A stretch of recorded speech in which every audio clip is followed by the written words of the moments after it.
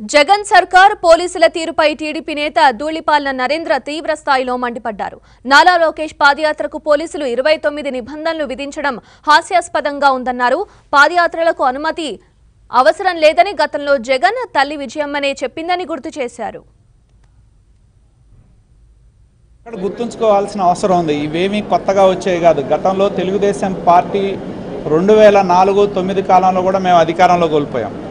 ఆ రోజున్న ముఖ్యమంత్రి రాజశేఖర రెడ్డి గారు ఎన్నో విధాలుగా మా సహచరులుగా ఉన్న శాసనసభ్యులను లాక్కునే ప్రయత్నం చేశారు. రెండు వేల తొమ్మిది పద్నాలుగు మధ్య కూడా ఎంతోమంది శాసనసభ్యులు తెలుగుదేశం పార్టీ శాసనసభ్యుల్ని వాళ్ళ దగ్గర చేర్చుకోవడం జరిగింది. అదేవిధంగా రాజశేఖర రెడ్డి గారు ఒక మాట చెప్పడం జరిగింది. రెండు వేల నాలుగు తొమ్మిది కాలంలో తెలుగుదేశం పార్టీ ఇక లేదు అని చెప్పి ఆయన ఒక మాటను కూడా వాడటం జరిగింది. కానీ తెలుగుదేశం పార్టీ ఎక్కడ ఉంటుందంటే ప్రజల గుండెల్లో చిరస్మరణీయమైన పార్టీ తెలుగుదేశం పార్టీ. కాబట్టి ఈ అధికారమో ఈ అరాచకమో తెలుగుదేశం పార్టీని చెరిపేయాలి అంటే అది సాధ్యపడదు. తెలుగు జాతి గుండెల్లో ఉంది తెలుగు ప్రజల గుండెల్లో తెలుగుదేశం పార్టీ ఉంది. కాబట్టి వాళ్ళు ఎన్ని కుట్రలు కుతంత్రాలు చేసినా తెలుగుదేశం పార్టీ ఒక కెరటంలాగా తిరిగి ఈ రాష్ట్రంలో అధికారంలోకి రావటం ఖాయం. మనం చూసాం నిన్న మొన్న కూడా కుప్పం ప్రాంతంలో కొంతమంది కొన్ని మెసేజ్లు సర్క్యులేట్ చేస్తూ ఉన్నారు.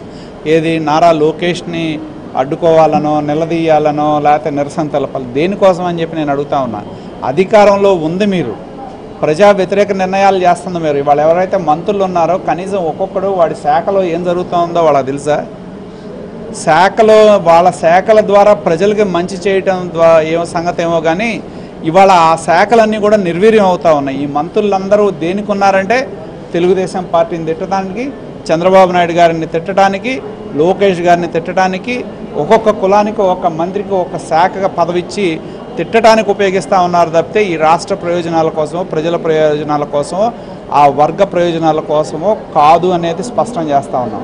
కాబట్టి ఏంటంటే మాకు వాళ్ళు ఏది తిట్టినా మేము ఆశీర్వాదం కిందనే తీసుకుంటాం.